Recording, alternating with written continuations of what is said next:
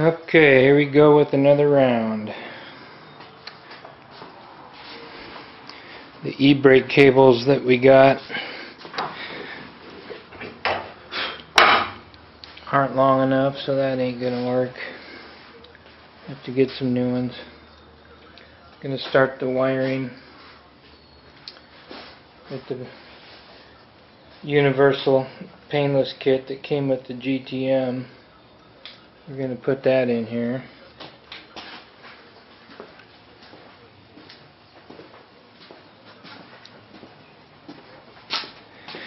I've done these before. It's kind of overwhelming at first, but you start with one thing at a time and it ends up starting to make sense. Been looking on the internet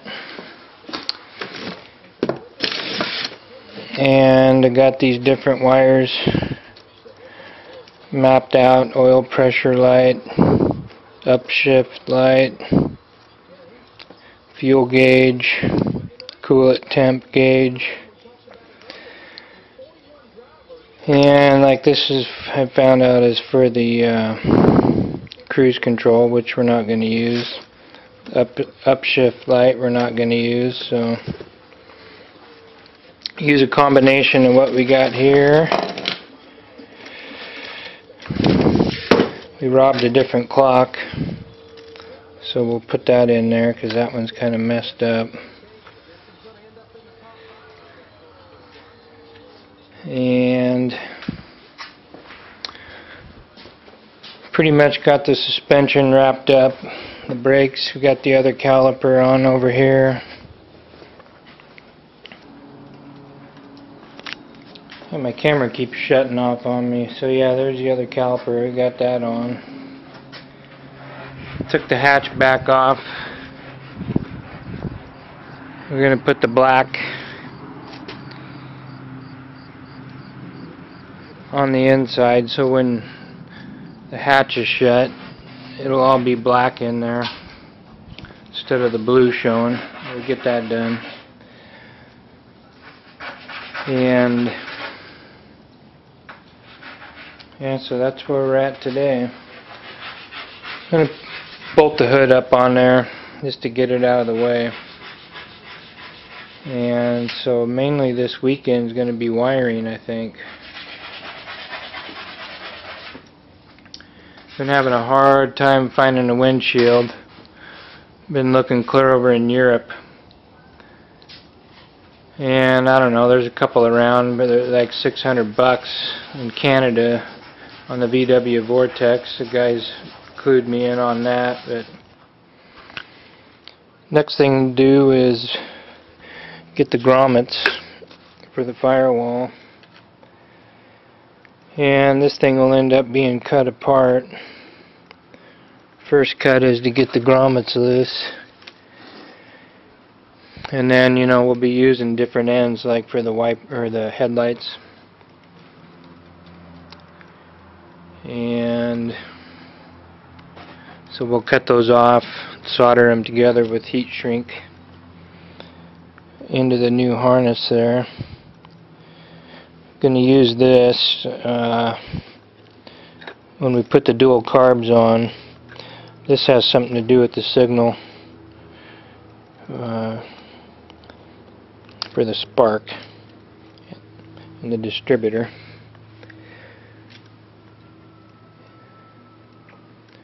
So here we go. Start to cut it apart and then we'll get the painless harness unwound and kind of eyeball it. And I'm gonna go for it. There's the black.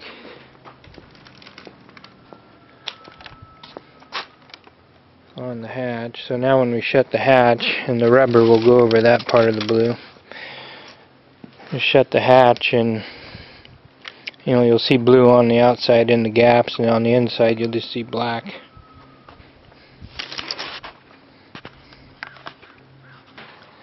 there's the gauge cluster with all the wires kind of routed up through the dash for the steering column, gauge cluster. Those are the ones going to be up for the lights.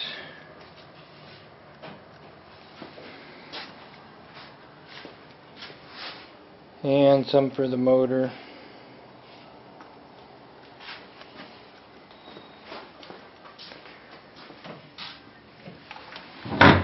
and then routing the ones back for the tail lights.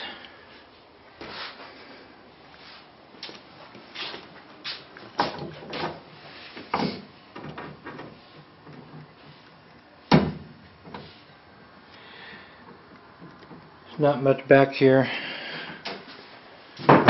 except for the lights. And with the painless harness, there's uh, some wires for a trunk light, so we'll, we'll probably put a light back here too. And that's all that's going to go back here.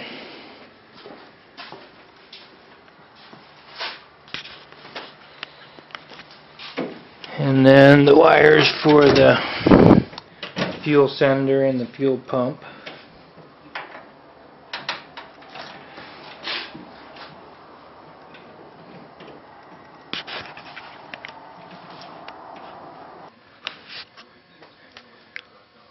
Well, here we go on the wiring. My boy's got the back of it set up. We haven't put the corrugated black tubing on there, but set up. We're going to get a light for the back, and all the lights are wired up except the grounds. So that part's good. And I figure first thing I'm going to do up here is the ignition. And I've tested these, figured out which ones power up depending on the position of the key. It's kind of cool. One of these powers up just by putting the key in. So that's kind of an odd power source. And then some of them come on with the key and stay on with the starter and like the one for the lights that one turns off when you're hitting the starter and then one of them actually is um, activates the starter solenoid. That's the bigger one there. That's for the headlights. And then various accessory powers and then the power input. So I'll get those hooked up. Like one of these is for the uh, coil. Uh, one's for the starter so these will be hooked up to different power sources from the ignition and then we'll go from there so I've been doing a lot of figuring out got all these wires kind of temporarily hooked up and pretty much got everything working. I got the heater blower to work. Lights are all working. Still got to run a, a wire um, for the wiper. Horn works, blinkers work, uh, the dimmer switch works. Uh, and the blinkers work, the hazard light lights work. So it's pretty much a done deal. Got the wires sitting here for the radio. Um, this wire is for the oil pressure. This one's going to be for a voltmeter. And then we're probably going to get a air fuel uh, gauge you know with the wideband O2 sensor and put three gauges in those three holes right there and it'll be nice to have the air fuel gauge to tune those carburetors and same thing up here Got everything kind of mocked up. and then what's laying down there is for the sensors.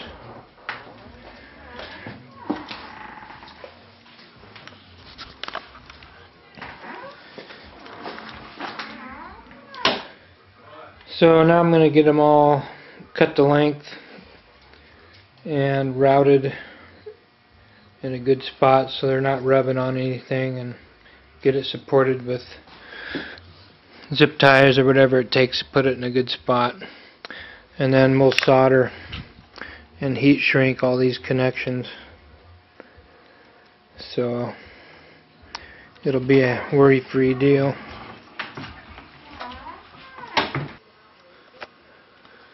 So boy, look what we've gotten ourselves into now. Me and my boy covered up this dash with fiberglass. And we'll see what happens, but the idea is to smooth that off and use a little Bondo and paint it.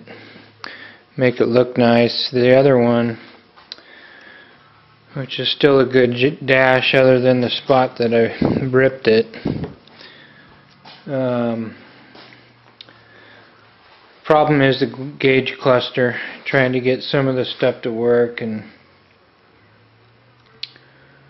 uh, you know part of it doesn't work is the problem. And so I don't know instead of trying to find another gauge cluster I think we're just gonna see if we can't fix up that other one and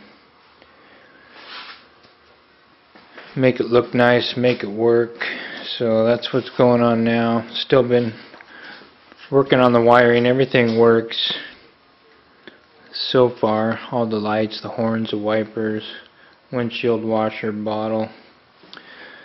Uh, the wipers, did I say that? Got all that working. And got a couple gauges.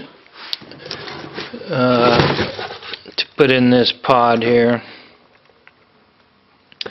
Got a voltmeter, oil pressure gauge, and then a air fuel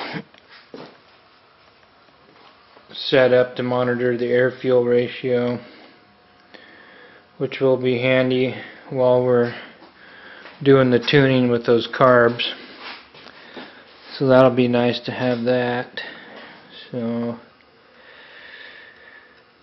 getting ready to buzz down this dash. I'll have to cut out the vents here. And then probably do a couple touch-up spots of fiberglass you know around some of the edges. Try and get that to where it's going to work out right. That was a bitch covering that whole thing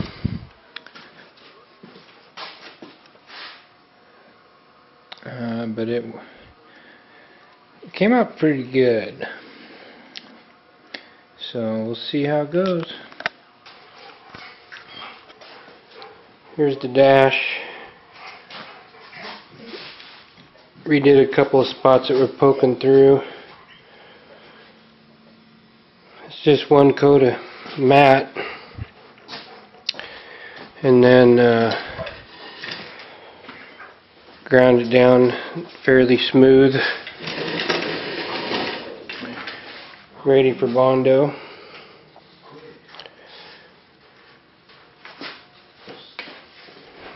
Seems like it stuck pretty good. So as long as someone isn't banging on it should last should be good. So now we're going to get some Bondo on there. Start sanding Bondo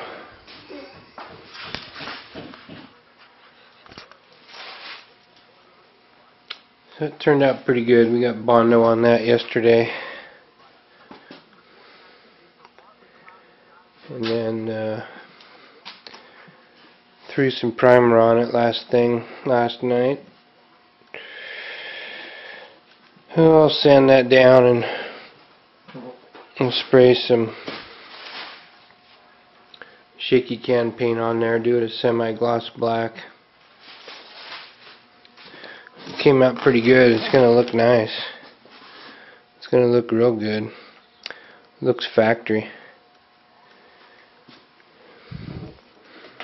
Yeah, except for a couple of odd shape holes, but it don't look too bad. It'll look good with the vent in there. I have to get the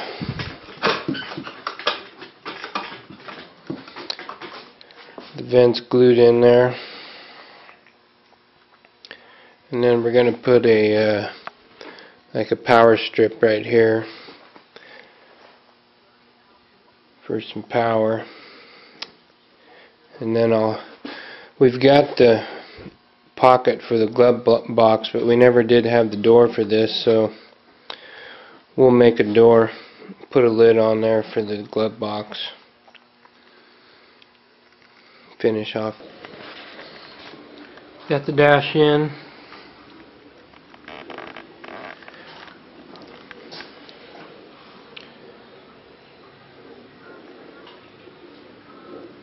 Fits a lot better than the other one, of course. And it's nice and sturdy since it's made it up better with the car.